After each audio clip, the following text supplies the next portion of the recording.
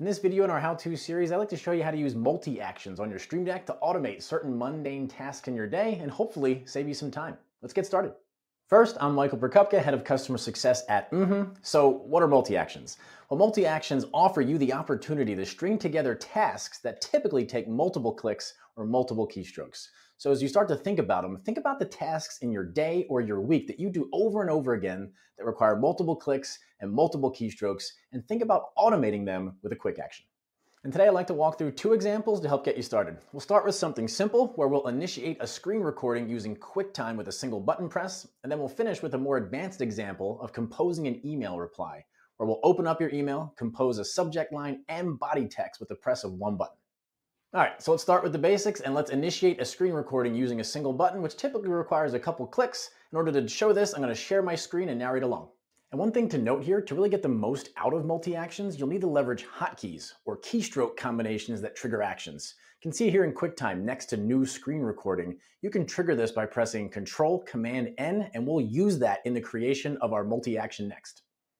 All right, so to show this, I'm gonna use a blank slate, so I'll come to the dropdown and start a new profile to get a fresh set of buttons. I'm gonna come over to the multi-action dropdown and drag multi-action into my top left key to open the editor. You have to open QuickTime, so we'll go to System and drag in Open. I'm gonna come down to where the app file command is and use this button to open my browser. You can use this command to open any application or file on your system, so mess around with it. But for this one, let's find QuickTime and hit open. When you are opening an app, it makes sense to drag in a delay to let the app fully open. And now we're going to use that hotkey combination to launch the, uh, the, the action. So I'm going to go down to hotkey and assign that command, control, and N to trigger the new screen recording. And I'm going to jump back to the main screen. If I want to change the icon, I can do it right down here. All right, now that I have my icon set, I just want to give it a title. So I'll come down here to the title and I'll type in screen record.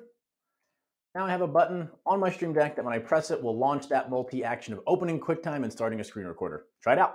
All right, now let's move on to the advanced example where I'm gonna show you how to compose an email reply with the press of one button. Same concepts, hotkeys, multi-action. I showed this one to visualize the power of this operation and to get you thinking about all the things you could potentially automate with multi-actions. Let's go. One quick note before I hit play on that video is I use Superhuman as my email client, which leverages a lot of hotkeys. If you use a different client, just look up and see which hotkeys are available to you and make the appropriate adjustments. So let's show you how this works.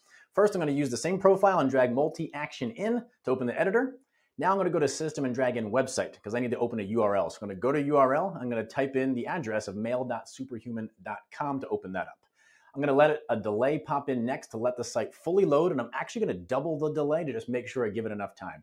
Next, I'm going to drag in a hotkey because I want it to use the compose email, which is C.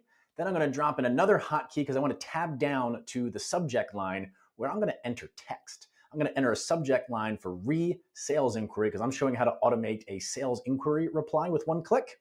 Then I'm going to drag in another hotkey to tab down to the body of my email where I'm going to use Superhuman to use one more hotkey to open up the snippet library. And the snippet library takes a second to open, so I'm going to drag another delay in and double it just to make sure it has time.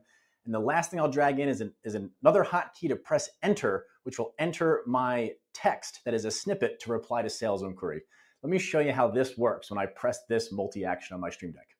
All right, so much like last time, I've given my new multi-action an icon and I've titled it. Now I just want to show you what it looks like when I press the button on my Stream Deck sitting right here in front of me. It'll happen quickly, but I think it's pretty cool. Check it out. So I'm going to press the button now, opens up the URL of my email, uses the hotkeys to compose an email, insert the subject line, open up the snippet library, put the snippet in the email, which includes my Calendly link. And the only thing that's left for me to do is enter the email address of where this is going and click send all with the press of one button.